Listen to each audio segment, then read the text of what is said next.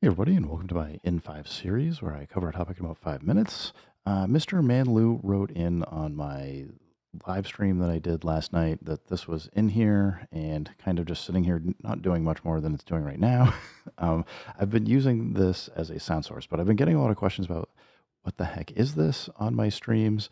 And uh, people have, uh, like Mr. Manlu, were like, hey, how's the latency on it? So we'll get into that kind of stuff. Uh, first up, this is the GPD Win Mini 2025. It is a small, um, kind of more geared towards gaming handheld PC. Um, you can see it's got like some left and right triggers on it. You can see from the top it had like the uh, Xbox style um, controls for it with some uh, thumbsticks and stuff. On the back here, you've got a micro SD slot, a USB A, a TRS jack for getting audio out, and then you got a USB, uh, two USB Cs. This one happens to be a USB four, USB four. So um, it's nice. I did kickstart the first one of these, and it died from overheating. I, I suspect that the silicon uh, actually melted and disconnected a CPU or something critical from the board. Um, this was like what 10-ish years ago uh, when the first one came out. I really liked it. It was actually a really nice device probably two-thirds the size of this. Had about a five inch display instead of a seven inch ish display. But uh, they've you can see here a lot more cooling.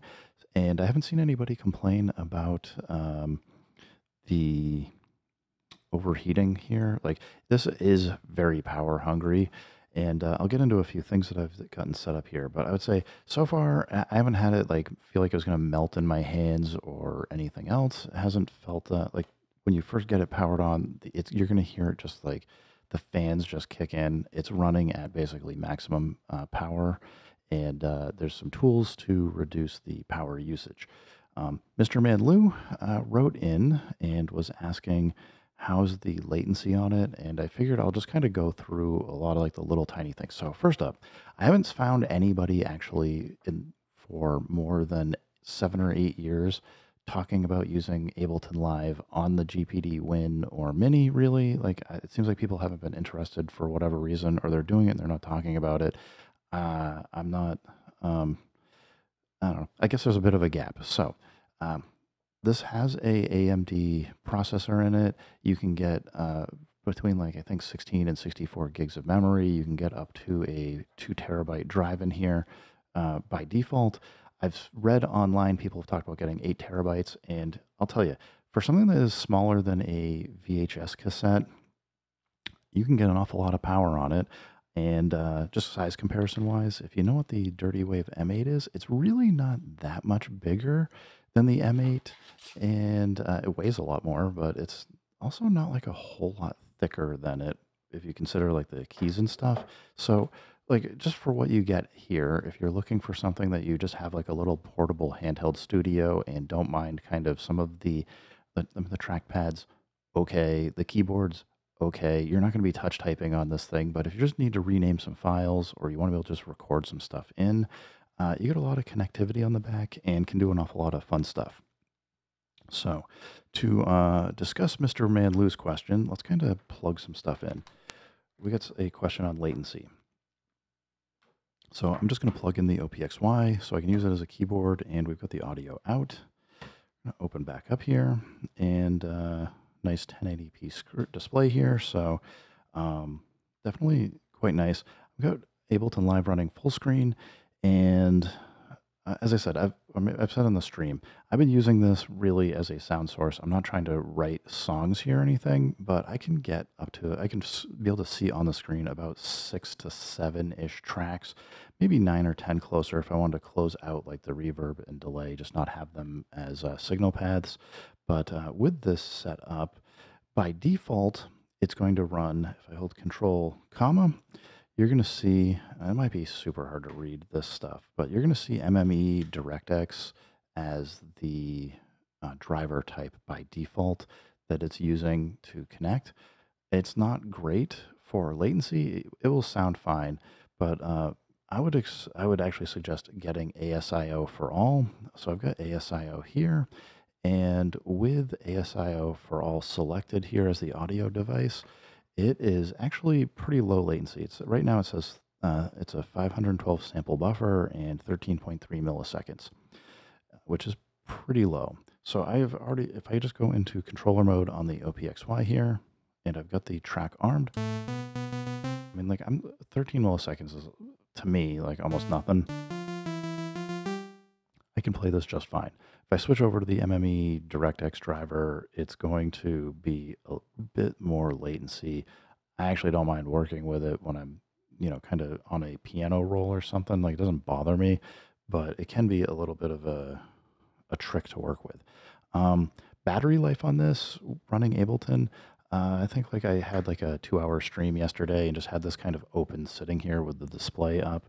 It was it maybe used like 33% of the battery. I'm, I suspect for the if you're not if you're just letting it sit around do not much of anything, you can probably get like six ish hours out of it if you're doing what I'm doing, which is let me alt tab over. Um, this app, Motion Assist, is something that will come installed on it.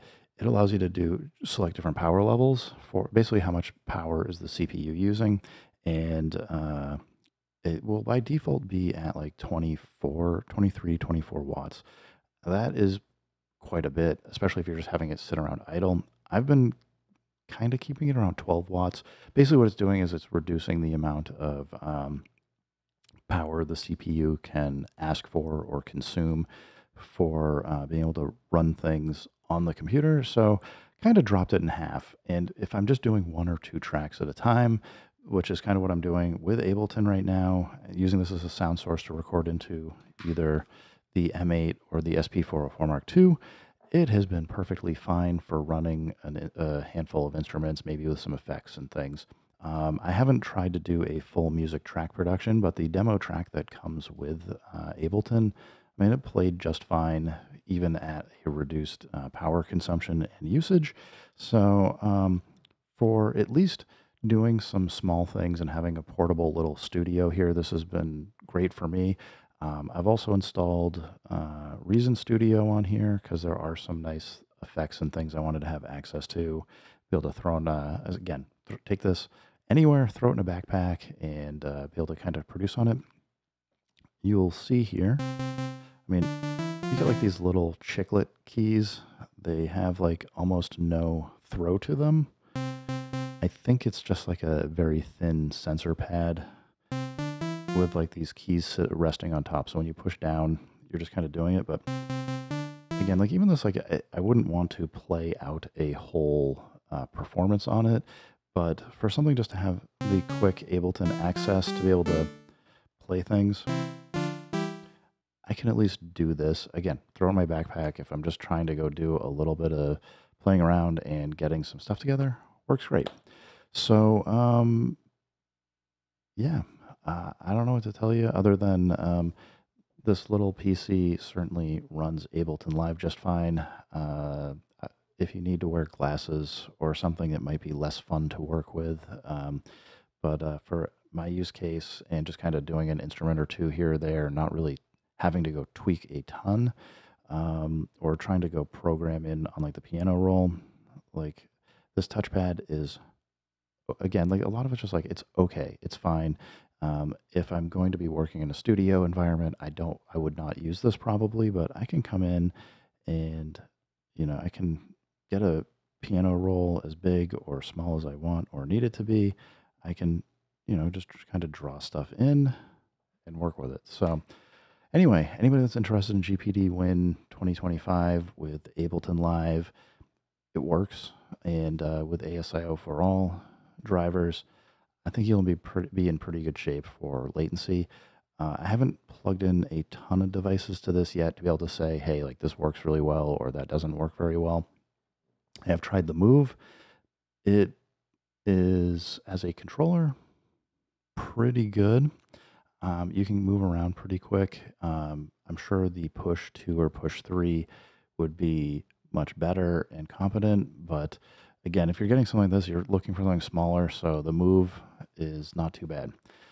Anyway, guy, um, Mr. Manlu, thank you for the question. Everybody else, uh, thanks for stopping by. Keep making music, keep having fun. Remember, if it sounds good, it is good. And peace.